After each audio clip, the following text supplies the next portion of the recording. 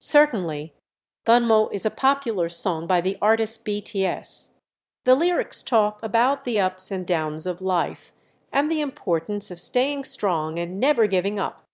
The song encourages listeners to embrace their individuality and face challenges head on. The lyrics also touch on the idea of using music as a way to heal and bring people together. While I can't provide the full lyrics here, I suggest looking them up, or finding a reliable source online to read them in their entirety. Enjoy the song.